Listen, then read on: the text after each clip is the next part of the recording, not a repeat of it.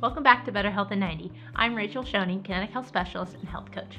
Let me ask you this How many times have you set goals for yourself only to slide back into your old habits a couple months later?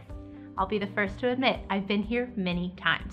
So, why is it so hard to stick to our goals? Well, change can be big, it can be scary, but fear not, today we're going to discuss three tips to help you make your goals stick. So, step one set realistic goals and make them small.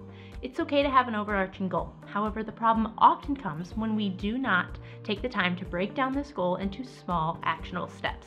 So try focusing on one behavior at a time. Make sure it's small before adding anything else to your plate. Step two, be honest with yourself. Establishing new habits means truly understanding the current ones that we're trying to replace. Believe it or not, feelings that have not been dealt with appropriately, stress, and even life struggles can leave us feeling stuck and unmotivated.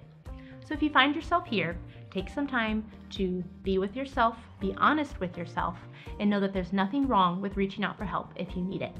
Step three, don't try to eliminate.